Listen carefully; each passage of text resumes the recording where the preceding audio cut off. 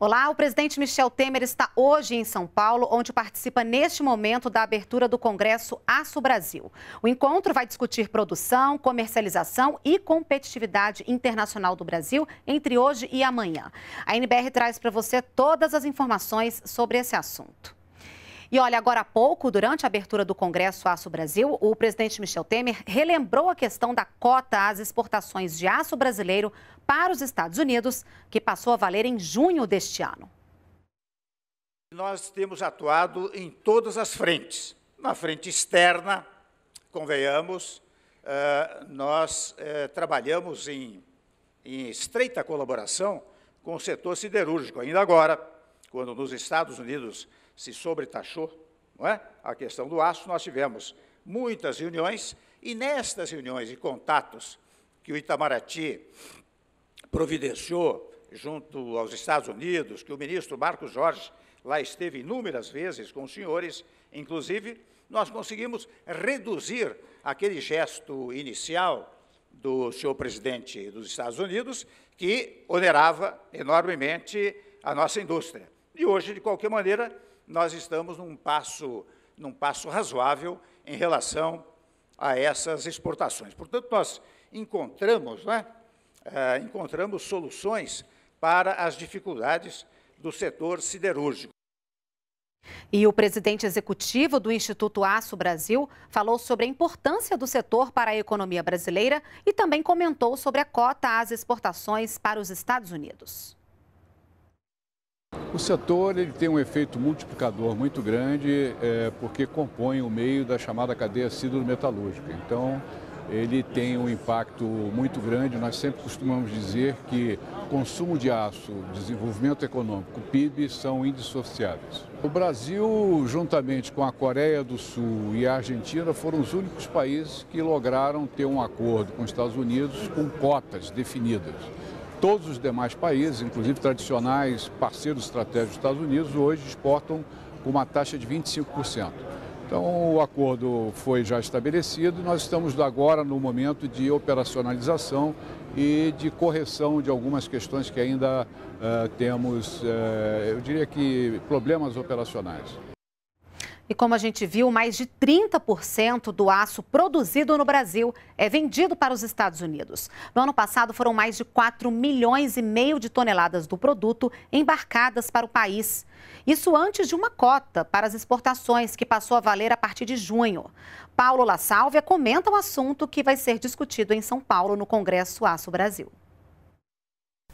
Em março, o presidente dos Estados Unidos, Donald Trump, resolveu sobretaxar em 25% as importações de aço norte-americanas e em 10% as importações de alumínio das empresas dos Estados Unidos em relação a outros países ao redor do mundo. Na ocasião, Donald Trump alegou que estava protegendo a segurança nacional dos Estados Unidos. Na verdade, foi uma forma de driblar restrições da própria Organização Mundial do Comércio, a OMC, que, em tese, proíbe restrições comerciais como esta. O que, na verdade, Donald Trump estava colocando em prática era uma promessa, um lema da sua campanha a América, os Estados Unidos em primeiro lugar.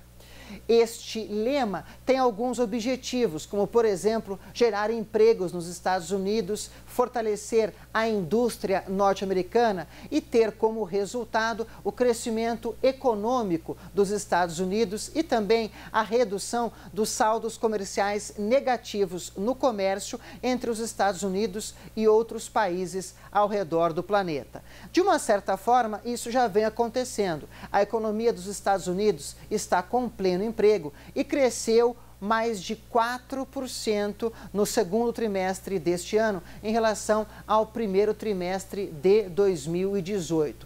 Mesmo com estes resultados, muitos economistas nos Estados Unidos se dividem em relação a estas tarifas. Alguns deles dizem que estas barreiras comerciais no futuro vão muito mais fechar do que abrir vagas no mercado de trabalho.